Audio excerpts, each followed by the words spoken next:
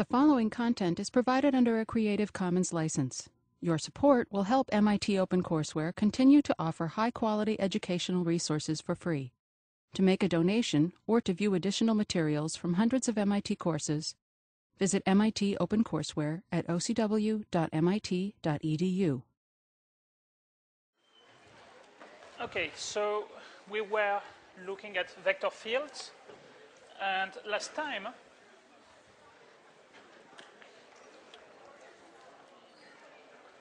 So last time we saw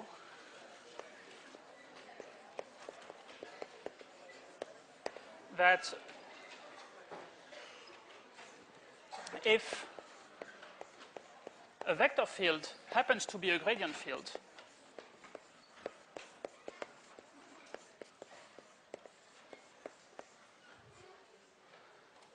then the line integral be computed actually by taking the change in value of a potential between the endpoint and the starting point of a curve. Okay, so if we have a curve C from a point P0 to a point P1, then the line integral for work depends only on the endpoints and not on the actual path we choose. So we say that the line integral is path independent.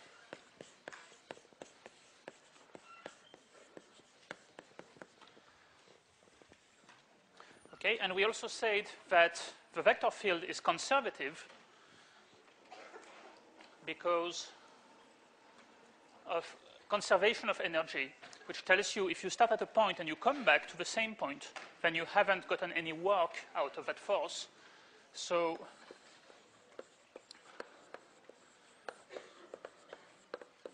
if we have a closed curve, then the line integral for work is just zero.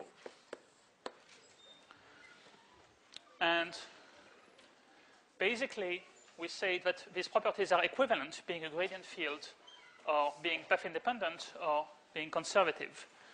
And what I promised to you is that today we would see a criterion to decide whether a vector field is a gradient field or not and how to find the potential function if it is a gradient field.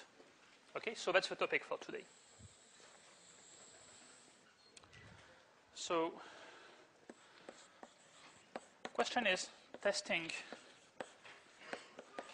whether a given vector field, let's say m and n components, is a gradient field.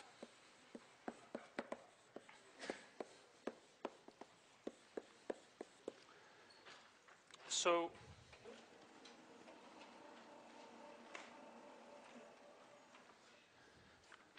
for that, well, let's start with an observation.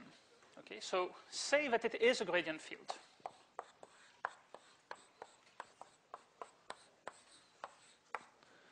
So that means that the first component of the field is just the partial of f with respect to some to the variable x. And the second component is the partial of f with respect to y.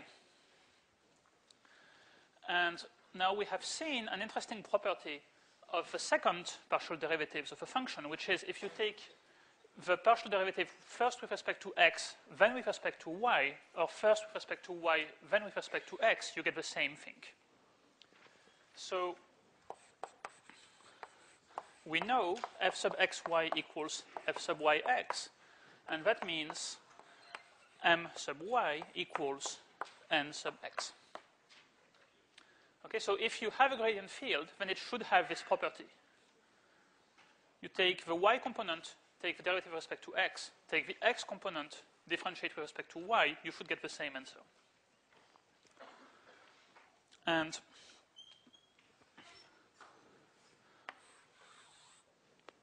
that's important to know, so I'm going to put that in a box.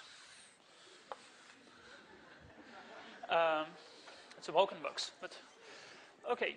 And so the claim that I want to make is that there's a converse of sorts. This is actually basically all we need to check. Okay, so sorry. Uh, what's going on? Okay. okay, so conversely, if, so I'm going to put here a condition, and my equals nx, then f is a gradient field.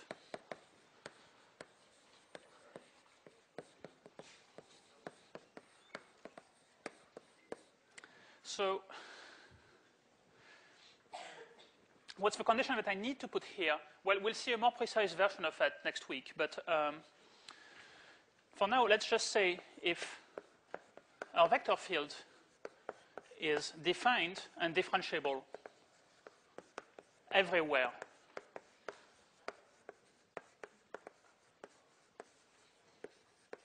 in the plane. Okay, so we need actually a vector field that's well defined everywhere. You're not allowed to have somehow places where it's not well defined. Uh, otherwise, actually, you have a counterexample on your problem set this week. If you look at the last problem on the problem set this week, it gives you a vector field that satisfies this condition everywhere where it's defined, but actually there's a point where it's not defined, and that causes it actually to somehow, I mean, everything that I'm going to say today breaks down for that example because of that. Um, so, I mean, we'll shed more light on this a bit later with the notion of simply connected regions and so on. But um, for now, let's just say if it's defined everywhere and satisfies this criterion, then it's a gradient field. So if you ignore, I mean, you know, if you ignore that technical condition, being a gradient field means essentially the same thing as having this property. So that's what we need to check.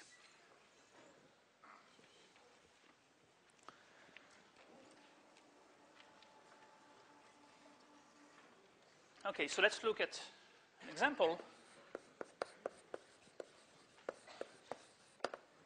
Well, one vector field that we've been looking at a lot was minus yi plus xj. Remember that was the vector field that looked like rotation at unit speed. Okay, so I think last time we already decided that this guy should not be allowed to be a gradient field and should not be conservative because if we integrate on the unit circle, then we'll get a positive answer. But let's check that indeed it fails our test.